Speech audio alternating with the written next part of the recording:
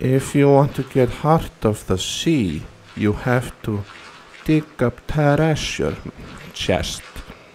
There is buried treasure chest that you can locate with buried treasure maps.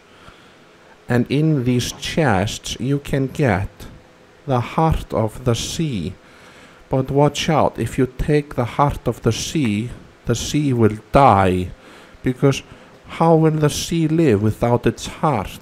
It will be no heart of the sea, and the sea will become the dead sea.